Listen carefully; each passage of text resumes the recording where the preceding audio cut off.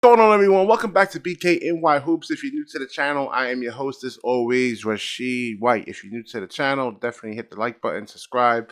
All right let's get into it over here. This actually comes from si.com and uh, they're basically saying that the brooklyn nets cannot afford to actually let nic claxton walk or anything like that man. They said no under any circumstances they can't afford to actually let him. Now listen nic claxton you got like I said, to me, you got different players out there. You have regular season players, and then you have actually playoff players. Now, can Nicholas Claxton actually morph into a playoff player where you know his weaknesses aren't really truly exposed if the Nets get into the playoffs, and especially if they advance past the first round of the playoffs. The coaching actually gets better. We'll get back to that in a second, though. Let's get into the actual article over here. So Brooklyn uh, selected 31st uh, Nic Claxton in, in, the 2019 draft. Oh, it's 2019, 2020. All right, so four years of NBA experience right there. We'll continue reading. So it says Nic covers up sins for us on the defensive end of the floor. Let's just be honest uh, Jacques Vaughn said about Nic Claxton, his ability to overcome and deter shots, be a shot blocker, even in foul trouble. Uh, you see him back there.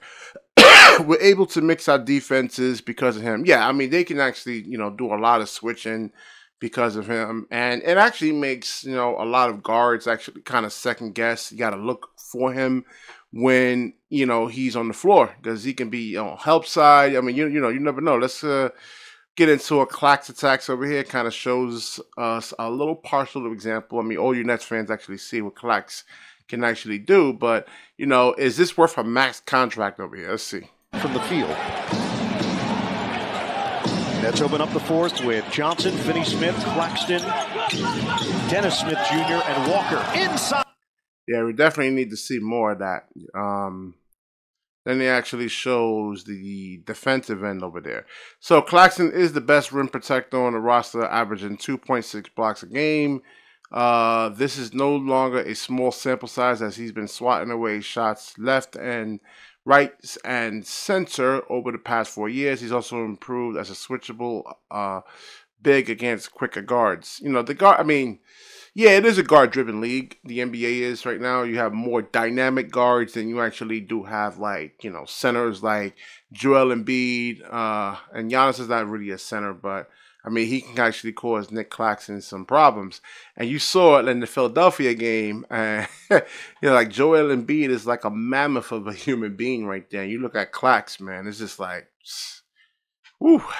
But again, that's just you know one player right there compared to the Tyrese Halliburtons and the Ja Morants and um, let's see, let's see, let's see. Let's see. The back end, Butler makes his move, a little step through. Oh, swatted by.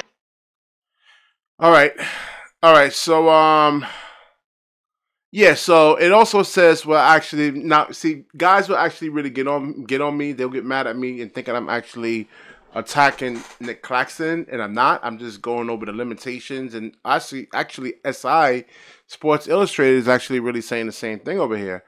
So Nic Claxton has continued to evolve on offense. So yeah, and it says the offensive capabilities is a lob threat and excelling in his role due to his adaptive movement without the ball and impressive leaping ability for catching alley oops this season has formed a potent part- partnership between Spencer Dinwiddie emerging as the primary pick and roll tandem with Simmons uh, unavailable right there.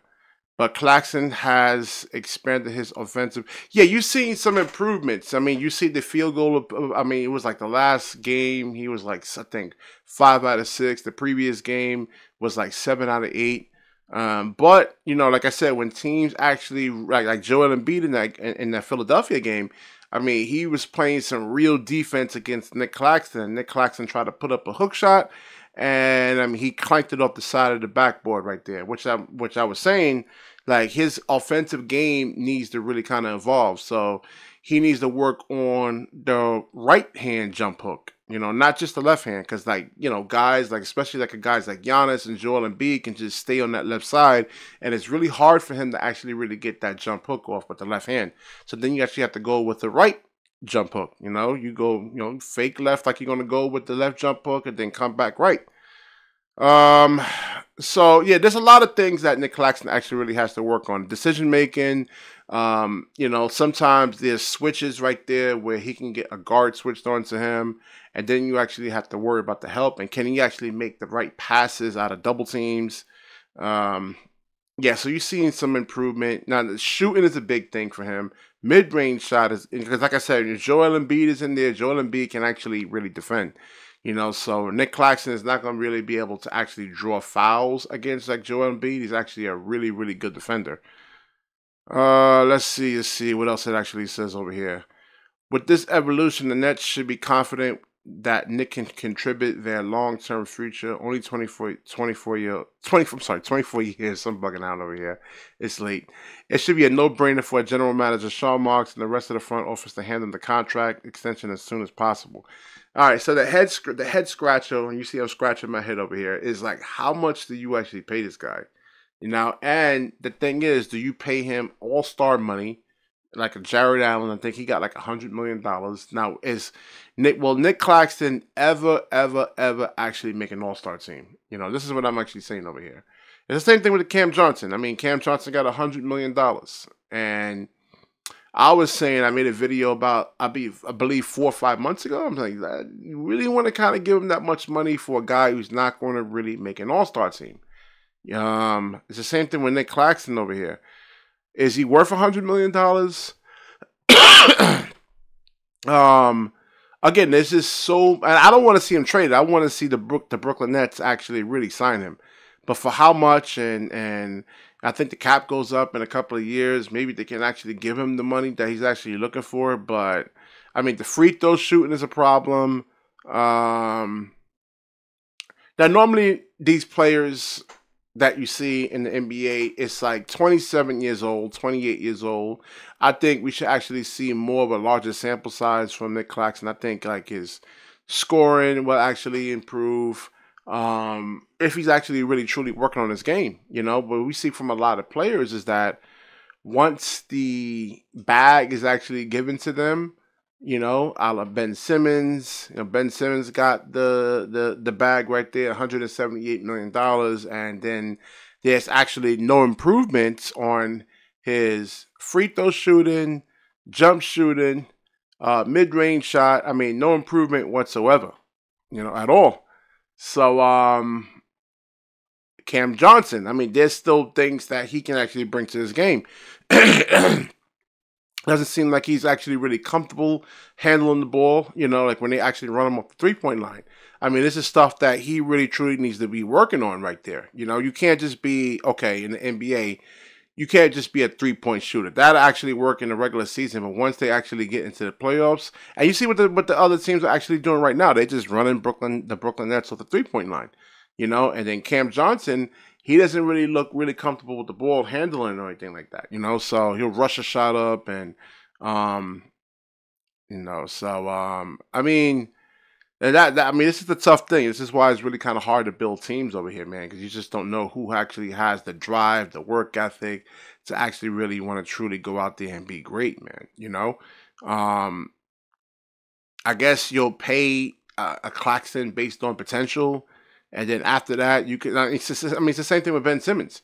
I mean, he hasn't really showed any kind of improvements. I mean, the money he actually got was based off his potential, his future potential and um, I mean, he made three All Star teams, and it's like, all right, so what else can you actually bring? Because like the way, and I, like I said, I just say this because I'm not just picking on Nic Claxton. I'm saying the same thing about Ben Simmons.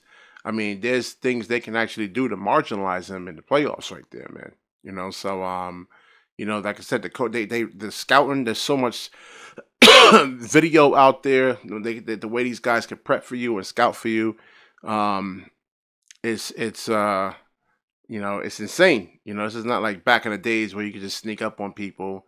You know, it's not that much. I mean, it's high depth, like 4K resolution of, of of videos out there, man, where guys got nothing to do but to sit out there and just you know scout you out. I mean, you see in the actual drafts, you know, the pre pre-game drafts, uh, like like the like player weaknesses, uh, strengths, and and you know, you'll look at let's say Nic Claxton's um, before he came out and before he got into the NBA, what he needs to work on. Jarrett Allen, Joe Harris, uh, you know, they they I mean they just they get your game down to the actual molecule.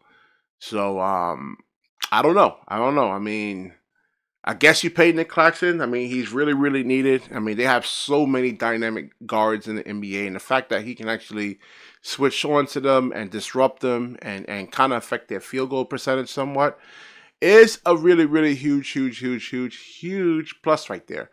All right, so uh man, I've been rambling enough over here. How many minutes have we actually got to this thing, man? I don't even know. I'm pretty sure it's, it's a, a, long time, man. Y'all can only tolerate me for like three or four minutes, and they're like, yo, man, I'm tired of hearing from you, Rashid. All right, definitely like, comment, subscribe. Certainly share this video. And when you share, the universe certainly shares back with you. Peace.